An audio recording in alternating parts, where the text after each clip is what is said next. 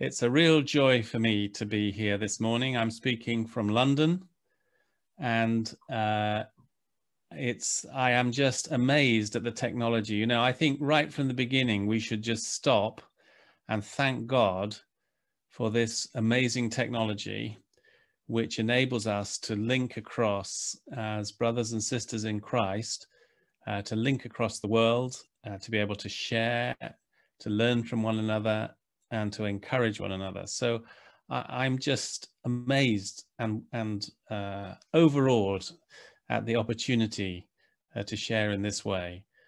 Um, and you know, it is interesting. Uh, we are in the middle of a lethal pandemic across the entire world. And of course, this is not new. There have been lethal pandemics in the history of mankind for thousands of years. But it's interesting to me that the last really serious lethal pandemic was in 1919, the influenza pandemic. And the question is not why do we have a lethal pandemic now? The question is why did God delay the next pandemic for so many years, nearly 100 years until 2020? And just maybe part of the answer to that is that God delayed this pandemic until the technology had advanced to this level of sophistication so that his people are able to meet out and reach out to one another uh, through technology and across the world.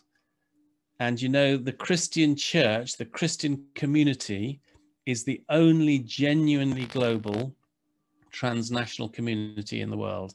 And with this technology, we can see that global community in action. So uh, praise God for that. Thank you for being part of this uh, seminar. So I just want to very briefly introduce uh, what we are trying to do um, over these next six sessions.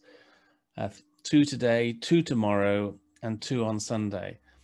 Um, and, and the most important thing to understand is that this is like an experiment. Um, I've never tried to do something quite like this before. And what we're trying to do is quite ambitious because I've been asked to give like a crash course in Christian bioethics over six short sessions.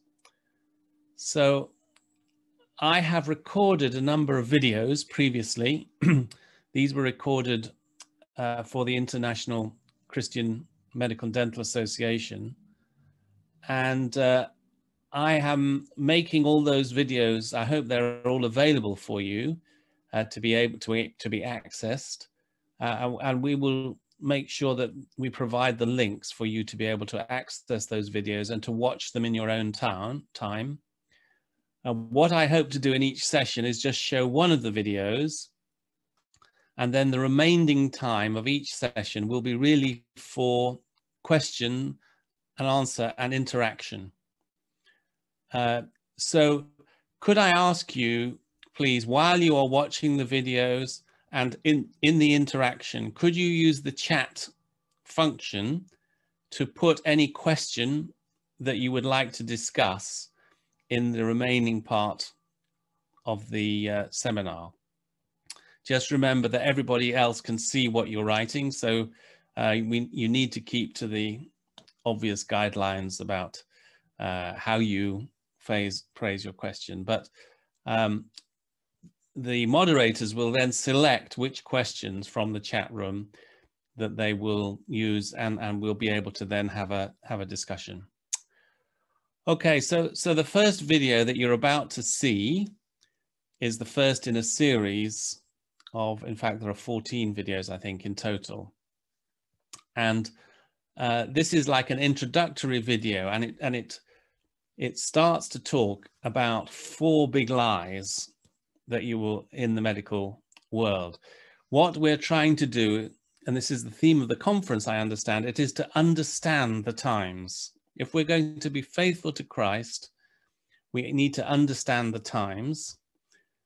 And in the video, I am trying to outline some of the issues that are happening in, in healthcare. Now, of course, this was all recorded before the pandemic. And so it will be interesting to discuss maybe how things are changing because of the pandemic. And the other thing to remember is that I, my, all my medical experience is really based in the West, in the UK, and in a highly sophisticated and very secular kind of medical system. And so the issues that I identify are particularly coming with Western spectacles. So one of the challenges for you who are working in Asia is to, to try to see what, how, how does this translate into my hospital, into my uh, medical system?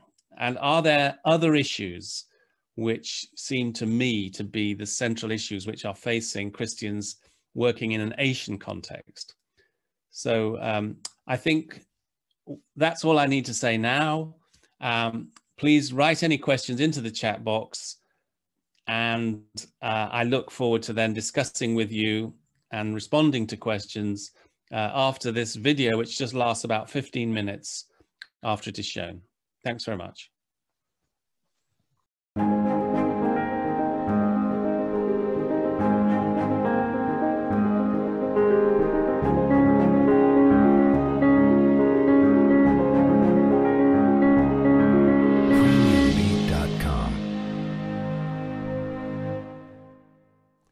This is John Wyatt, and this is the first of a series of short video talks on the principles of medical ethics.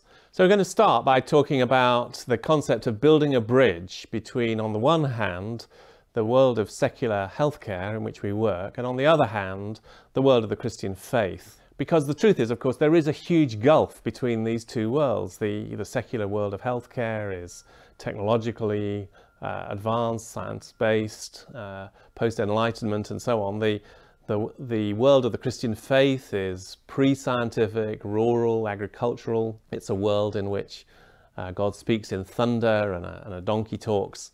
And so the question is, how can we build a bridge between these two worlds? And that means we need to dig deep on both sides of the gulf. We need to really dig deep into the Christian faith and to understand the fundamental principles of, of the faith. But at the same time, we need to dig deep into the world of modern healthcare and, and, and learn about some of the fundamental issues, challenges, uh, and so on. And, and in this first talk, I'm going to be looking at some of the big lies that lie behind healthcare. It's a concept that comes actually from Hitler. Hitler wrote uh, in the time of the Third Reich that there was no point in, in just putting forward a little lie. You should put forward such a big lie that uh, was so outrageous that it was likely that people would um, believe you. And this is not a principle that Hitler invented. In fact, the evil one has been using the same principle uh, for aeons. And so it's worth thinking about what are some of the big lies which lie behind modern secular healthcare.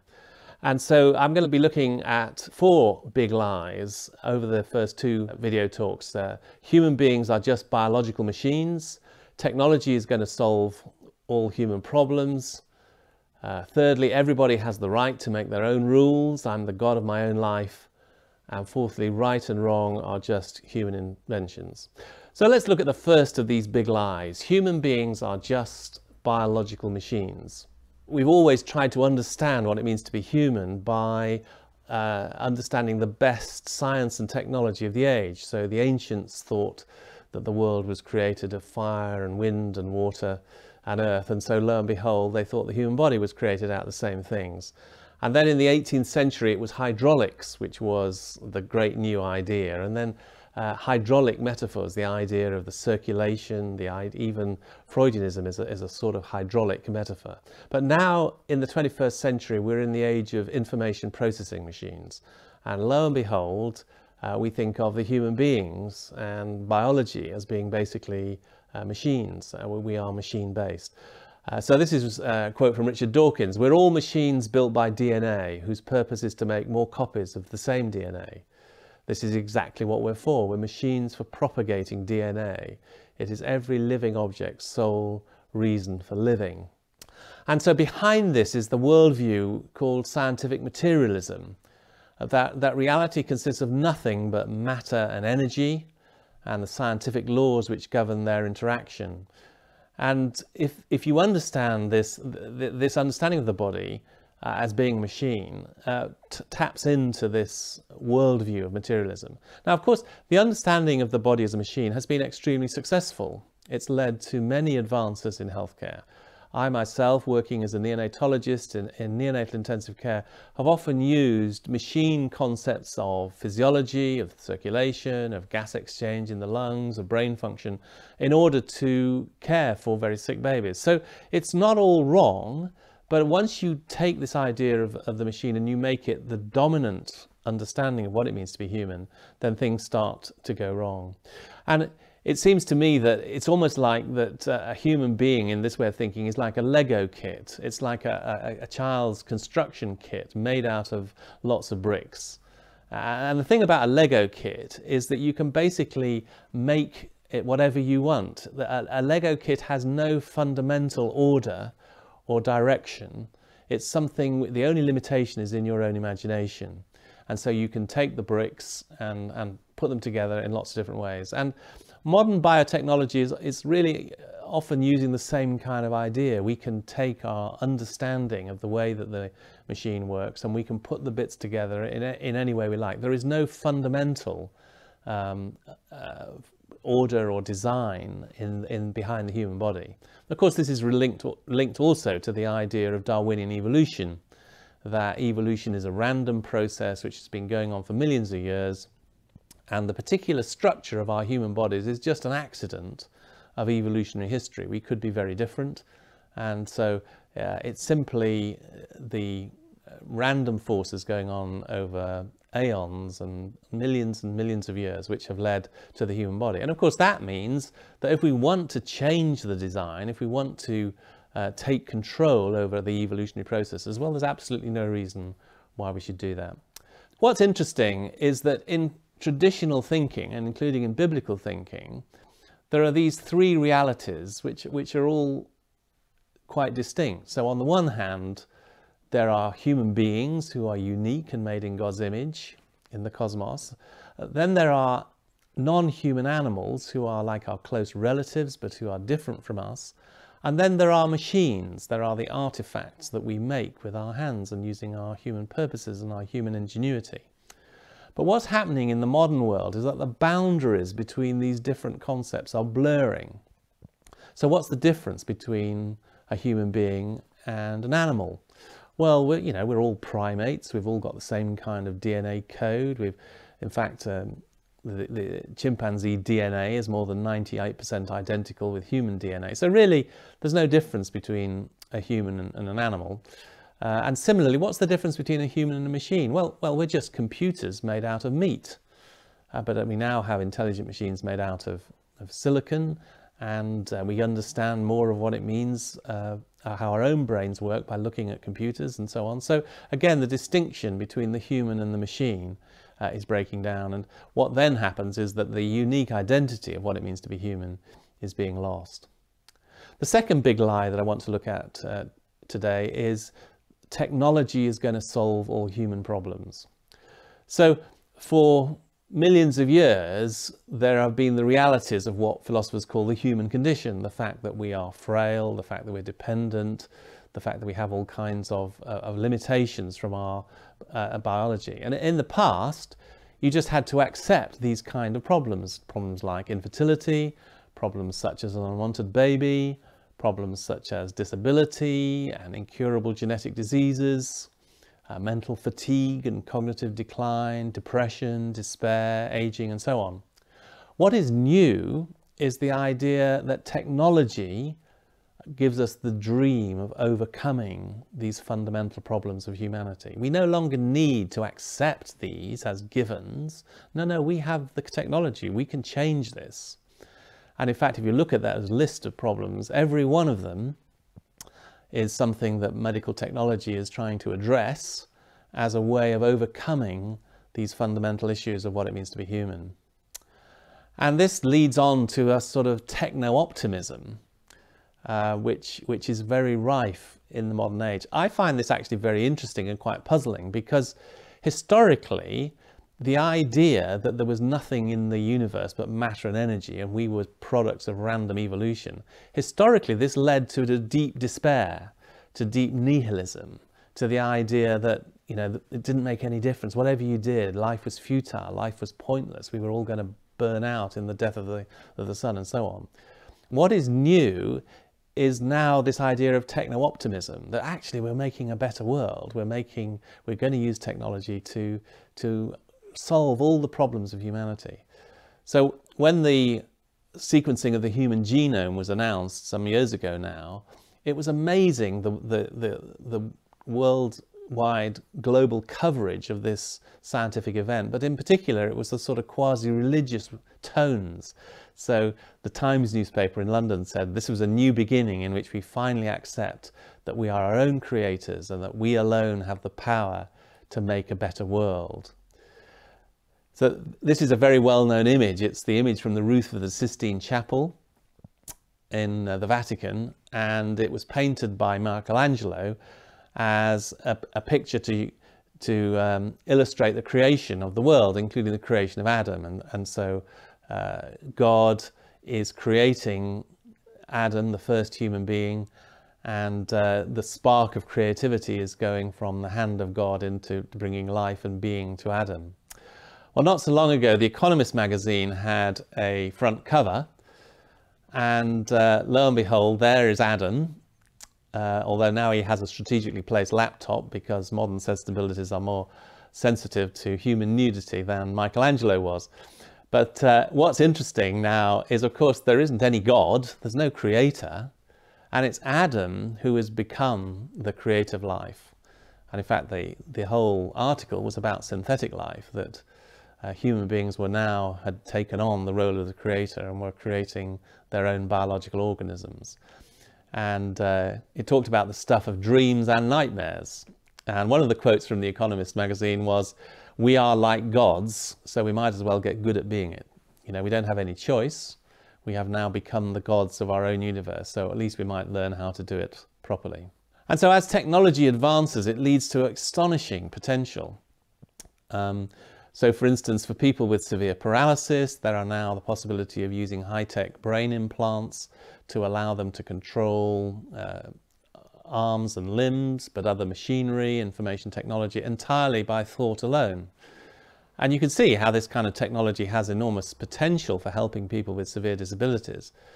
Uh, but at the same time, of course, it's, it's what's called dual use technology. Exactly the same technology is being developed by military organizations around the world in order to allow soldiers to control arms, to fire missiles, to fly planes using thought alone so that their soldiers will be smarter and more destructive than those um, on the other side. So this kind of technology has a very dark face as well as we learn to control and manipulate our own humanity. The essence of technology is mastery of nature and it's mastery of nature as a whole but also mastery of human nature.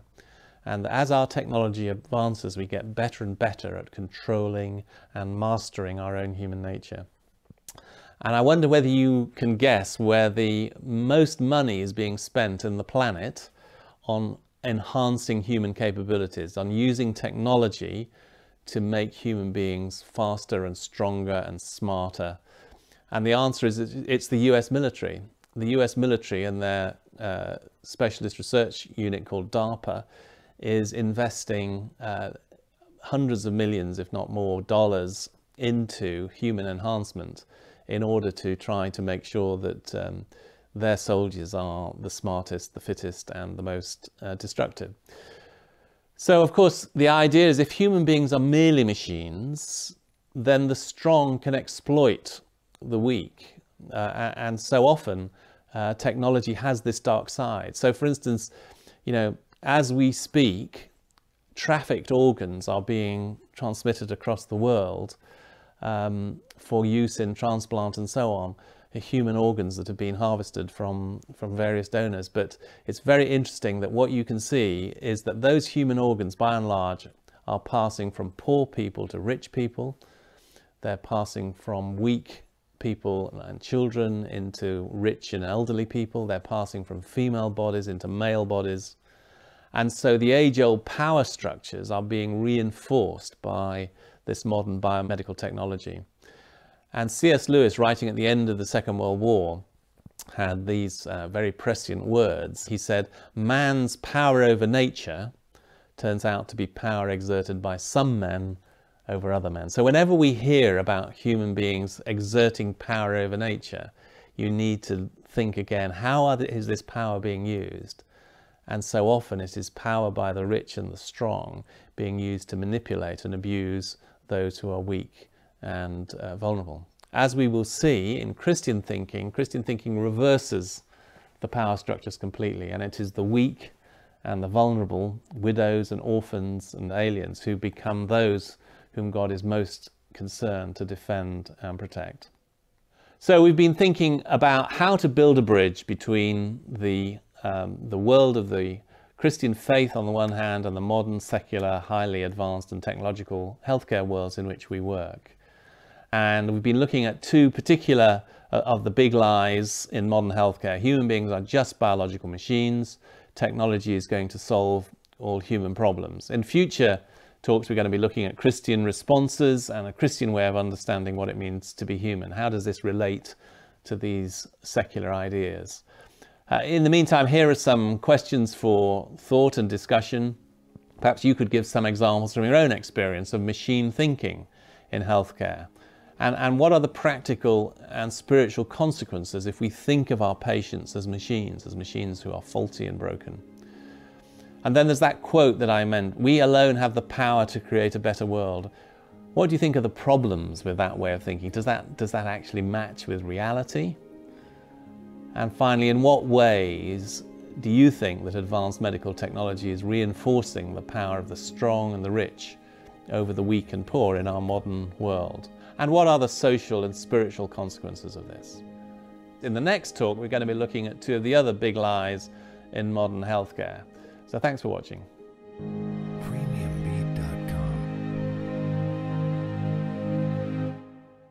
So I think this image of the bridge, can we can we just reflect a little more about this image of the bridge? Because uh, I realize I go very fast in the video, I'm speaking quite fast.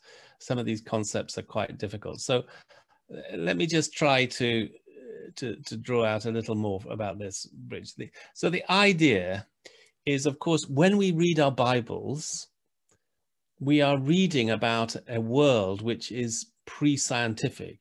It is a rural world. It talks about deserts and fig trees and uh, God speaks in thunder and creates a wind and uh, and it, it is pre-scientific, it is pre-technological. And then you think about the world of healthcare in which we work, and it is a completely different world. It's a world of science, a world of technology, a world of um, all, all, all, the aspects uh, which I mentioned, where, where human beings are thought like machines and where technology provides the answers. And so the question is, how do you build a bridge between these two worlds? And to be honest, I think that many Christian doctors, it's almost like they just live in these two worlds.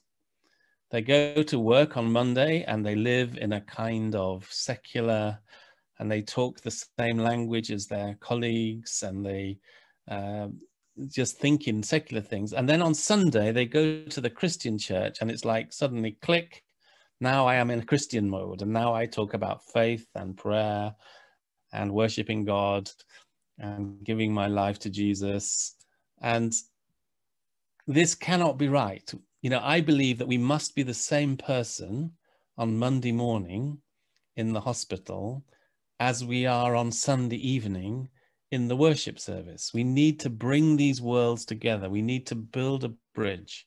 And so, what I'm trying to do is to help people, to uh, Christian doctors and healthcare professionals, to to, to build this bridge. But in order to build the bridge, you must have a strong foundation on both sides. So, of course, we must study the Bible. We must try to understand what God is saying and what His truth is revealed in the Bible. But also, we must try to study the secular world. we must try to understand what is happening uh, in our own hospitals. What are the forces, the hidden um, power structures, the um, the sometimes corruption, sometimes um, other things that are going on? Because until we really understand our modern world, uh, uh we're not going to be able to to build the bridge. So in these series of videos that I've produced, the first one, I have identified these four lies. And then what we will go on to do is, is look at how we create Christian responses and uh, to these lies. And I, I think the way we do that, again, is we have to turn to the Bible and we have to say, what does the Bible have to say about what it means to be human? Uh, what does the Bible have to say about technology? What does the Bible have to say about morality, about where we find right or wrong? And then what I'm hoping to do is to help people to see, well, how can I be a Christian in my own hospital? How, how can I live in a way which uh, is faithful to Christ, but which is still really engaged in the modern world? So, so that is building the bridge you know, in the West, of course, every medical system has a different history, but in the West, certainly, and I think also in, in, it's true in much of Asia, the Christian foundations of medicine was very strong. So the, originally, um, hospitals were developed by Christian people. Christian thinking uh, was in all aspects of medicine. But from the time of the Enlightenment, which started in the 18th century, a very different emphasis has been creeping into medicine, which is, as I said, the idea that human beings are just machines, this kind of Darwinist and reductionist thinking, but also the idea that technology is going to solve our problems because they say religion, religion has no value. You look at Christianity, it has caused wars across the world. It is just religious superstition. So we must get rid of Christianity. And instead, we must just use science and reason, thinking. Uh, and, and at the moment in the West, in my hospital, there are still many Christians who are working in the hospital. Um, as doctors, as nurses, as, as paramedics, um, there are many people who feel called by God, who are Christian believers, to go into medicine. But the power in the medicine is now in the secular Darwinist thinking. That is where, so Christians are now a small minority. And so, but we can still have a great influence. You know, uh, Jesus said, You are the salt of the earth and you are the light of the world. And the interesting thing about these metaphors is that you only need a tiny bit of salt to have a huge effect. And you only need a tiny bit of light to light up a huge darkness. So even if we are very small in number, we can have a big influence in in our healthcare systems. And, and thanks to God, I see that happening across the world, that Christians are exerting a, a great influence. Um, but we have to recognize this is a big gap. If you go to your secular colleagues and you start talking about human beings made in God's image, and you say the problem is that human beings are fallen, and uh, we need to confess our sins and find redemption in Jesus. Uh, they think you're mad. They think this is just religious talk. You know, you're supposed to be a doctor, you're supposed to be a scientist. How can you talk all this religious talk? And, and so this is where the, the gulf is between the two sides. And we need to build this bridge, but it's not easy. I, I want to say it's not a simple task to be a Christian doctor in the 21st century. Actually, it's never been easy to follow Christ in any century. But, right. but in the 21st century, it is particularly difficult because we live in a very strange world, a very rapidly changing world, a world with many confusing questions. But God has given us his truth, he has given us his word, and he's given us many wonderful examples of Christian doctors. I've been, I've learned so much. I've had the privilege of watching other Christian doctors in the UK and across the world, and I've learned so much from them. And so I'm keen to try to pass on more uh, to my brothers and sisters uh, to to try to share how we can learn more to to be faithful to Christ in a secular health system. It's very important um, for Christian students to really think deeply about ethics because uh, it is while you are young that it's possible for your mind to think new thoughts. I'm afraid to say most of us, by the time we are 40, we are stuck in our ways. Our brains are stuck in certain patterns. And so it's very important while we are young that we build a Christian way of thinking. And in order to do that, we need to study bioethics. But I just want to warn you that the bioethics that is taught in the medical school comes from a very atheistic perspective.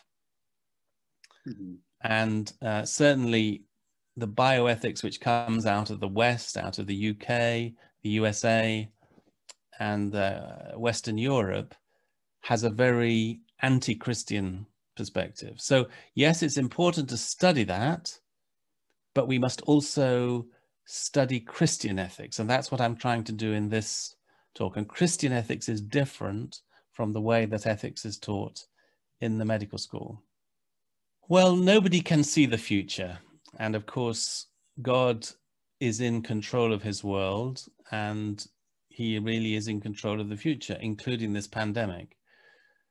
But I believe in many ways the gap is getting wider and I think maybe we see this in the pandemic because what we see is how do people respond to the pandemic? The answer is technology.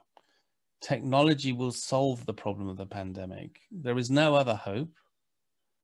Uh, but if we can only work out how to do testing, for the coronavirus. And then we can develop vaccines and we can make the vaccines widely available. We can develop new vaccine technology. Then we will solve the problem. Then the world will be fine. And this is a classic example where technology is the answer. And so I, I think the difference in thinking between the Christian worldview and the secular worldview is increasing. The, the gap is getting bigger. But I just want to say I am not in any way despairing about this. In fact, I know that by God's grace, it is possible to cover this gap between these two worlds. And you know why, as Christians, we can be absolutely confident it is possible to cover this gap? It is because of Jesus Christ.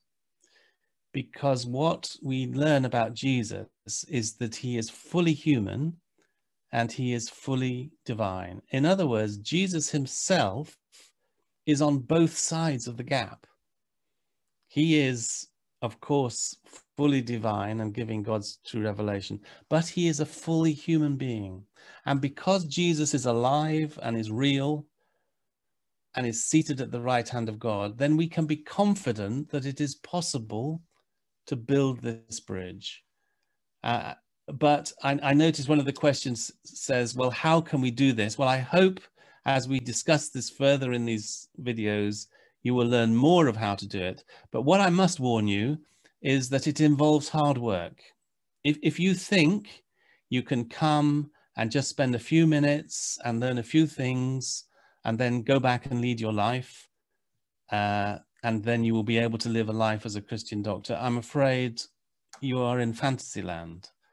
Uh, it takes significant amount of hard work, of reading, of study, of prayer, of discussion, uh, in order to develop a really strong Christian way of living. But it is possible. And I want to encourage you.